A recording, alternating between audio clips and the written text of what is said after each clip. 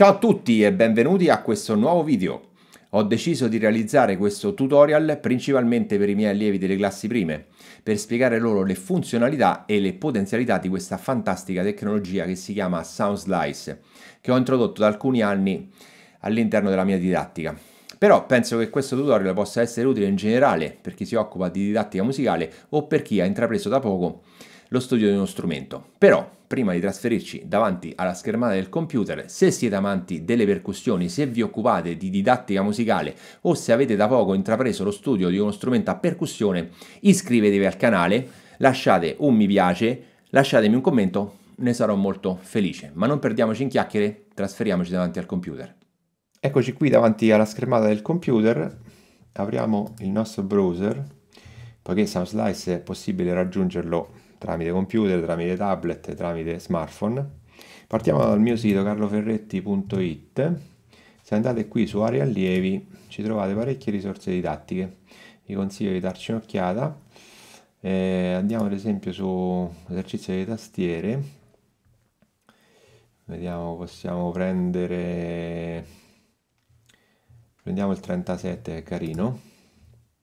E eccoci qui dentro il nostro esercizio. Eh, ve lo faccio ascoltare, vedete che succede.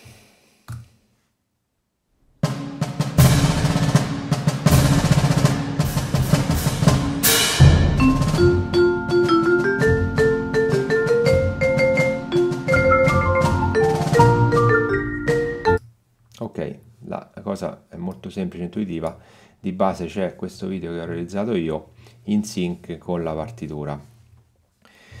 Come possiamo utilizzare questa tecnologia per studiare a casa? Dunque, dico sempre ai miei allievi, oltre al, ehm, alla classe, al classico studio eh, con la parte cartacea, potete eh, provare a leggere direttamente l'esercizio dallo schermo del computer o del tablet, il telefono forse risulta troppo, troppo piccolo. Quindi la prima cosa da fare è ehm, ottimizzare la visualizzazione, cioè fare in modo che possiate leggere eh, bene. Quindi sicuramente potete chiudere la barra a sinistra, poi potete tramite questo cursore spostare questo cursore per ingrandire o rimpicciolire il video, magari alcuni passaggi non vi sono chiari, magari qualcosa tecnicamente più difficile, potete vederlo bene nel video.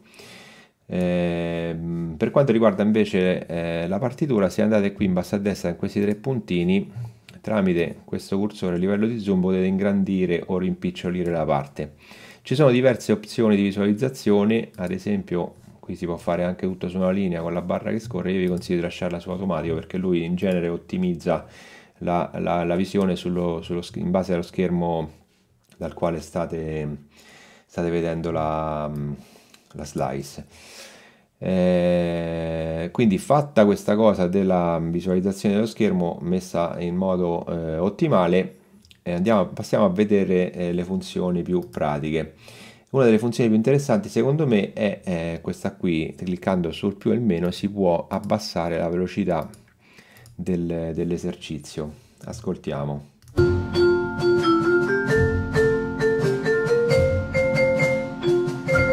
Vedete è stato mantenuto il sync tra l'audio e il video, l'esercizio è più lento la tonalità rimane la stessa ovviamente la, la, qualità audio un pochino peggiora quindi se dovete utilizzare questa funzione io vi consiglio di cliccare qui su il tasto synth e eh, lui vi farà ascoltare un suono diciamo finto di vibrafono sentiamo.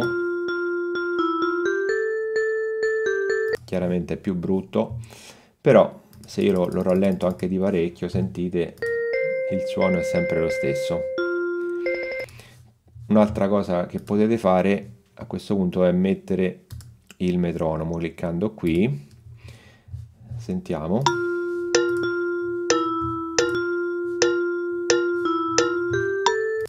Regoliamo il volume del metronomo o del vibrafono da questa schermata. Se lo volete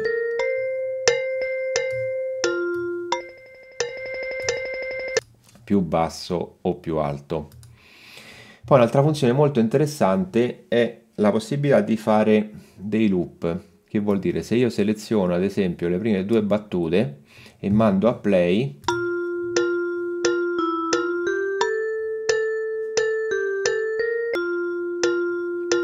lui vi ripeterà in continuazione queste due battute. Tramite questi tre puntini potete scegliere se prima di mandare a play lui può fare un conteggio di metronomo Adesso rimettiamolo un pochino più veloce, se no diventa troppo lungo. Sentite che succede.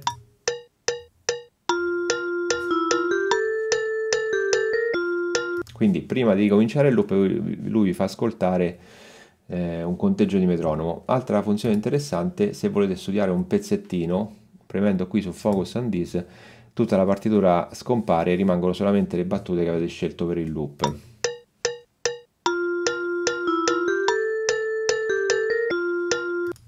Ok, se volete tornare alla versione ehm, della partitura, cliccate lì. Ok, eh, di base eh, le funzioni da utilizzare sono queste qui. Vi volevo far vedere eh, un'altra cosa. cliccando qui sul video ritornate sulla parte del video. Ovviamente tutte queste cose che vi ho detto potete farle anche con, con il video, però magari eh, se lo fate con il synth eh, la parte è più precisa. Eh, un'altra cosa che vi volevo far vedere, torniamo sul mio sito, andiamo sempre su allievi e ad esempio su brani e parti orchestra perché volevo far vedere un'altra cosa interessante che nella slice di prima non c'era. Clicchiamo qui per esempio su Viva la Vita. Allora questa slice è un po' particolare per tutte le slice di, di musica d'insieme infatti troverete qui il video sembra all'inizio lo stesso quindi un solo video però qui nella partitura ci sono più pentagrammi perché questa è una partitura completa di tutte, di tutte le parti. Eh, come dobbiamo comportarci in questo caso? Dunque, se clicchiamo qui dove è scritto totale, dove prima era scritto video, in realtà il video era uno solo, qui i video sono più di uno. Vedete c'è la parte percussioni, marimba 3, 2, 1, vibrafono, glockenspiel e questo totale che è questo che c'è adesso, che è un video che ho messo mh, di tutte quante le parti, ho fatto un mix per avere un'idea del pezzo. Però mettiamo il caso che voi vogliate... Ehm, vogliate studiare la parte di Marimba 3 ad esempio. Quindi clicchiamo qui su Marimba 3 e vedete che qui sul, sul video abbiamo quindi la parte della Marimba 3. Però io voglio andare anche a visualizzarla la parte della Marimba 3, poiché suonare così con tutti questi pentagrammi non è proprio il massimo. Quindi clicco sui tre puntini, vado su Marimba 3, clicco su Focus e ecco qui che mi esce la parte di Marimba 3. Ascoltiamo un attimo.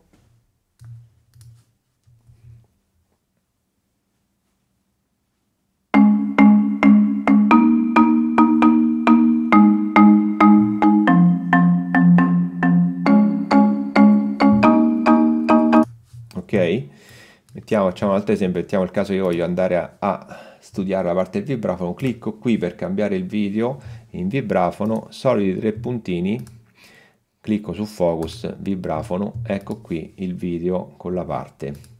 Sentiamo.